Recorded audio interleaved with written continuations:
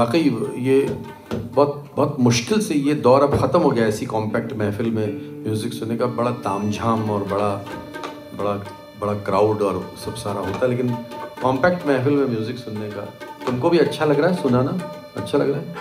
Mic लेके बोलो ना अच्छा लग रहा है तो। बोलो माइक कहाँ है तुम्हारा? बोल तो हाँ। हाँ। कहाँ? उठाओ माइक उठाओ। प्रसन्न भाई आप इनके बारे में बताइए कि ये ये इनके गाने में क्या अच्छा है? क्या खास क्या है? अरे रे, सब कुछ ही अच्छा आज आज सब टेस्ट है आपका। अभी वायवा चल रहा है आज आपका। अच्छा। नहीं एक तो टेक्निकली बोलो सुर बहुत पक्के हैं बहुत। हम्म, बहुत अच्छे हैं। और अच्छा। Feel feel Feel। जो है लिरिक्स की फील जो है।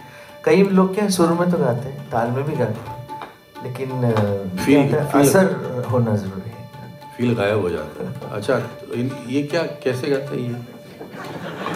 इनके, इनके बारे में बताओ। हम तो बोल ही रहे हैं इनके बारे में दस साल से।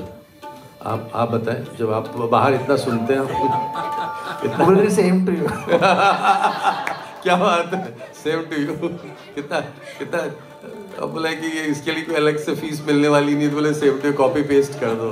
Same too but still what is so special about his singing अच्छा गाते हैं। हाँ इसीलिए फील बहुत अच्छा है। फील अच्छा है ना? निकाल के बात को एक अंदाज से निकाल के लाते हैं। चलो।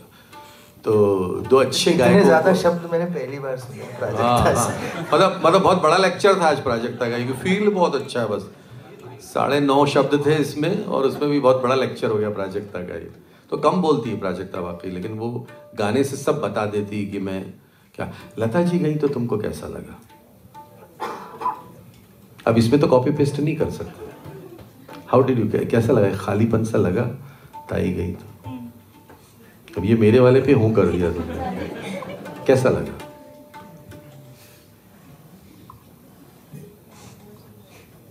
मुश्किल लगता है। वाकई, क्योंकि एक एक एक विचित्र तरह का खालीपन दीदी ने छोड़ दिया हमारे और लत, और प्राजक्ता को तो इतना उस परिवार में जाना आना मिला। तो हृदयनाथ जी ने तो कहा था कि ये कैसा गाती है? तो ये बाढ़ लता है लहान लता लहान लता मना लेते हैं लहान लता मना लेते हैं बाढ़ साहब। हाँ तो वो इसको अप्रत्यक्ष। और कभी पास में उनके बिल्कुल बैठने का मौका मिला लता जी अच्छा। लता जी को। पास में नहीं मिला। अच्छा चलो।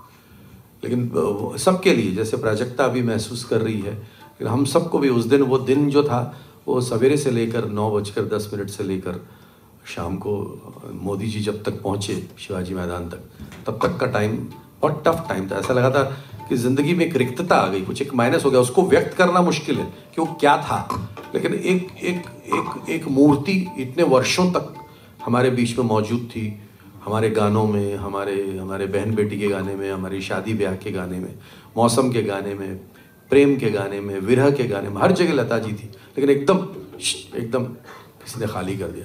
तो मुश्किल होता है ये। तो आइए लता जी के लिए ट्रिब्यूट दिल की राहें।